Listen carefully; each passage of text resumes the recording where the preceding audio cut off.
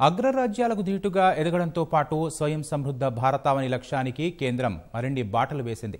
యావత్ ప్రపంచాన్ని కరోనా కకావికలం చేసిన వేళ ఆరోగ్యమే మహాభాగ్యం అన్న పెద్దల సూక్తిని గుర్తు చేసుకున్న ఆర్థిక మంత్రి వార్షిక బడ్జెట్లో ప్రజారోగ్య రంగానికి ఏకంగా నూట ముప్పై ఏడు శాతం మేర నిధులు పెంచారు.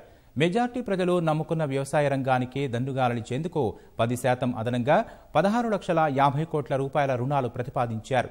వ్యవసాయ రంగంలో మౌలిక వస్తువులు పెంచడం సహా సంపద సృష్టిపైన దృష్టి సారించిన మంత్రి అగ్రిసిస్ను కొత్తగా విధించారు. దిగుమతి వస్తువులు సహా పత్తి నుంచి ఎలక్ట్రానిక్ గూడ్స్ వరకు పలు వస్తువులపై పన్ను మోపారు. వినియోగదారులపై మాత్రం ఆ భారం పడకుండా దిగుమతి సుంకాన్ని తగ్గించారు.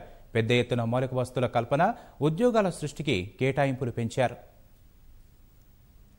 కరోనాతో కుదేలైన దేశ ఆర్థిక రంగానికి కాయకల్ప చికిత్స చేయడంతో పాటు ఆత్మనిర్భర భారతావని లక్ష్యంతో ఆర్థిక మంత్రి నిర్మలా సీతారామన్ రెండు వేల ఇరవై ఒకటి ఇరవై రెండు ఆర్థిక సంవత్సరానికి సంబంధించిన బడ్జెట్ను పార్లమెంట్లో ప్రవేశపెట్టారు. కరోనా సృష్టించిన ఆర్థిక విలయం దృష్ట్యా ప్రస్తుత ఏడాదితో పోలిస్తే స్వల్ప పెరుగుదలతో ముప్పై నాలుగు లక్షల ఎనభై మూడు వేల రెండు వందల ముప్పై ఆరు కోట్ల రూపాయల అంచనాలతో పద్దును సమర్పించారు. రెవెన్యూ రాబడులు పదిహేడు లక్షల ఎనభై ఎనిమిది వేల నాలుగు వందల ఇరవై నాలుగు కోట్లుగా పేర్కొన్న మంత్రి మూలధన రాబడులు పదహారు లక్షల తొంభై నాలుగు వేల ఎనిమిది వందల పన్నెండు కోట్లుగా వివరించారు. వ్యయానికి సంబంధించిన రెవెన్యూ కోటా ఇరవై తొమ్మిది లక్షల ఇరవై తొమ్మిది వేల కోట్లు కాగా వడ్డీ చెల్లింపులు ఎనిమిది లక్షల తొమ్మిది వేల ఏడు వందల ఒక్క కోట్లు. మూలధన వ్యయం ఐదు లక్షల యాభై నాలుగు వేల రెండు వందల ముప్పై ఆరు కోట్లుగా ప్రతిపాదించారు. రెండు వేల ఇరవై ఇరవై ఒకటితో పోలిస్తే మూలధన వ్యయాన్ని లక్ష పదిహేను వేల కోట్ల మేర పెంచారు. ద్రవ్యలోటు పదిహేను లక్షల ఆరు వేల ఎనిమిది వందల రెండు కోట్లుగా పేర్కొన్న మంత్రి ఇది బడ్జెట్లో ఆరు పాయింట్ ఎనిమిది శాతం ఉంటుందన్నారు. మొత్తం రాబడుల్లో రూపాయికి ముప్పై ఆరు పైసలు రుణాలు ఇతర మార్గాల ద్వారా సమకూరనున్నట్లు వివరించారు. ఇందులో పన్నెండు లక్షల కోట్ల మేర రుణాలు తీసుకోనున్నట్లు వెల్లడించారు. జీఎస్టీ ద్వారా పదిహేను పైసలు ఆదాయ పన్ను ద్వారా పద్నాలుగు పైసలు కార్పొరేట్ పన్ను ద్వారా పదమూడు పైసలు కేంద్ర ఎక్సైజ్ సుంకాల రూపంలో ఎనిమిది పైసలు పన్నేతర రెవెన్యూ ఆరు పైసలు రుణేతర మూలధన రాబళ్ళు ఐదు కస్టమ్ సుంకాల ద్వారా మూడు పైసల మేర నిధులు సమకూరనున్నట్లు వివరించారు. ఖర్చులకు సంబంధించి రూపాయికి ఇరవై పైసలు వడ్డీల చెల్లింపులకే పోనుండగా పన్నుల్లో రాష్ట్రాల వాటా ఇతర సుంకాలకు పదహారు పైసలు ఖర్చవుతుందని మంత్రి పేర్కొన్నారు. కేంద్ర ప్రభుత్వ పథకాలకు పదమూడు పైసలు కేంద్ర ప్రాయోజిత పథకాలకు తొమ్మిది పైసలు వెచ్చించనున్నట్లు మంత్రి చెప్పారు. ఆర్థిక సంఘం ఇతర బదిలీలకు పది పైసలు ఇతర ఖర్చులకు మరో పది పైసలు రాయితీలకు తొమ్మిది పైసలు రక్షణ రంగానికి ఎనిమిది పైసలు పెన్షన్లకు ఐదు పైసలు అవసరమని పేర్కొన్నారు. ఇదే సమయంలో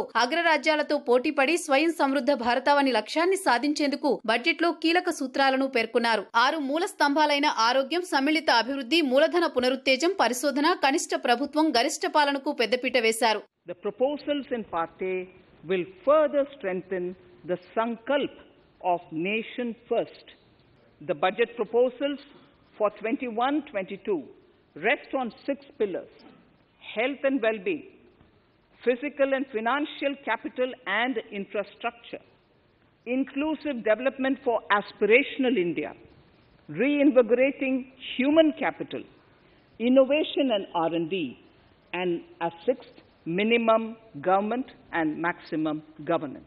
ఉద్యోగాల సృష్టి గ్రామీణ అభివృద్ధి భారత్లో తయారీ పెట్టుబడుల ఆకర్షణపై దృష్టి కేంద్రీకరించిన మంత్రి ఆరోగ్య రంగానికి సముచిత ప్రాధాన్యం కల్పించారు. ప్రస్తుత ఆర్థిక సంవత్సరంతో పోలిస్తే నూట ముప్పై ఏడు శాతం అధికంగా రెండు లక్షల ఇరవై మూడు వేల కోట్లు కేటాయించారు. దేశ ప్రజలకు కరోనా టీకా కోసం ముప్పై ఐదు వేల కోట్లు ప్రతిపాదించారు. సాగు రంగంలో మౌలిక వస్తుల కల్పన అభివృద్ధి కోసం అగ్రిసెస్ రూపంలో నిధులు సమీకరిస్తామన్నారు. ఈ దిశలో అనేక ఆహార పదార్థాలు పెట్రో ఉత్పత్తులు బంగారంపై సెస్ రూపంలో పన్ను విధించారు. ఇదే సమయంలో కస్టమ్స్ పన్ను తగ్గించి ప్రజలపై పై సెస్ భారం పడకుండా జాగ్రత్తలు తీసుకున్నారు. పదిహేనవ ఆర్థిక సంఘం సిఫార్సులను కేంద్రం ఆమోదించగా పన్నుల వాటాలో రాష్ట్రాలకు నలభై ఒక్క శాతం ఇస్తామని మంత్రి తెలిపారు. రికార్డు స్థాయిలో రైల్వేలకు లక్షా పదివేల యాభై ఐదు కోట్లు నాలుగు వేల మూడు వందల డెబ్బై ఎనిమిది పట్టణ స్థానిక సంస్థలకు జలజీవన్ మిషన్ కింద రెండు లక్షల ఎనభై ఏడు వేల కోట్లను ప్రకటించారు. వచ్చే ఐదేళ్ళలో లక్షా నలభై ఒక్క వేల ఆరు వందల డెబ్బై ఎనిమిది కోట్లతో స్వచ్ఛ భారత్ను